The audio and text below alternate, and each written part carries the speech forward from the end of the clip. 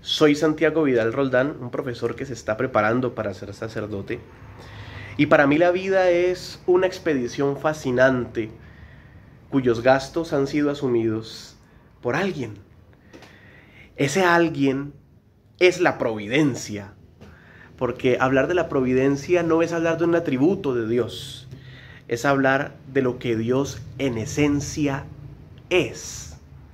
Es muy interesante ver que providencia y misericordia son los rasgos más profundos de Dios, rasgos a los cuales nos acercamos con una actitud del corazón que es la confianza, saber que vamos por la vida disfrutando el viaje gracias a que alguien ya dio los viáticos y que alguien se ocupa de nosotros.